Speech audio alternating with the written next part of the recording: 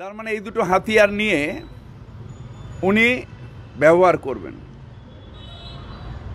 যে কেসে আমি জেল খাটলাম, সেই কেসে কেন শুভেন্দু ছাড় যদি নিরপেক্ষ সিবিআই হয়? কেন অন্য অন্য যে অন্য অন্য যখন বিজেপি যে আরোপগুলো তুলতো, যে নেতাদের, তারা শুধু বিজেপিতে পাল্টি হয়ে যাওয়ার পরে আজকে সিবিআই নিস্তব্ধ কেন? সারা ভারত জুড়ে বিজেপির কোনো নেতা অন্যায় করে না, শুধু অপোজিশনের নেতারা অন্যায় করে, তাই কারোর বাড়িতে ইডি কারোর বাড়িতে সিবিআই কারোর বাড়িতে ইনকাম ট্যাক্স কেন বিজেপি যারা করেন বা যারা সমর্থন করেন, তাদের বাড়িতে আজ পর্যন্ত কেন রেড হলো না?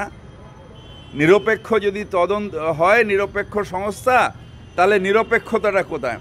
আসলে উনি চব্বিশের আগে আমাদের ওপর আরও বেশি জোর খাটানোর জন্যে এইসব আগের থেকে গান গাইছেন। না করা যাবে না তো। কারণ চব্বিশে মানুষের প্রতিরোধ গড়ে উঠবে। মোদি হাটাও, দেশ বাঁচাও, সারা দেশ জুড়ে গুঞ্জন হবে। উনি ইঙ্গিত দিচ্ছেন যে, মানুষের ওপরে বোঝা চাপাবো, মানুষকে শোষণ করব।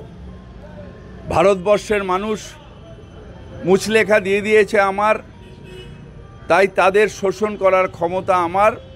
তাই শুধু তেলের দাম বিক্রি করা নয়, তেলের দাম তো বাড়বেই, অন্য অন্য জিনিসপত্রের দাম বাড়বে।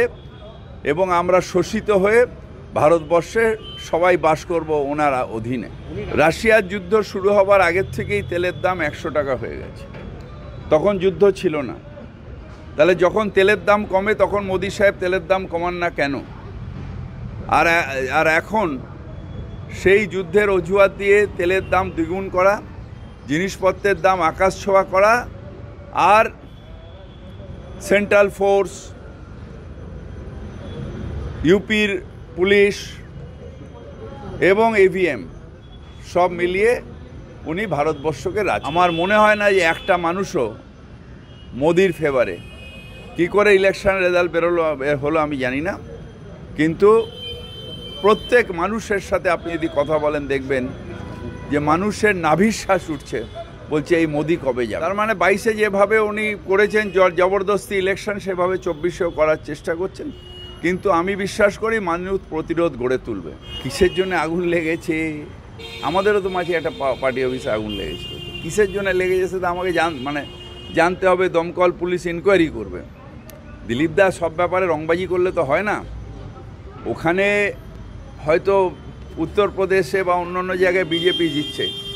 কিন্তু বাংলায় তো তারা ধরাশায়ী।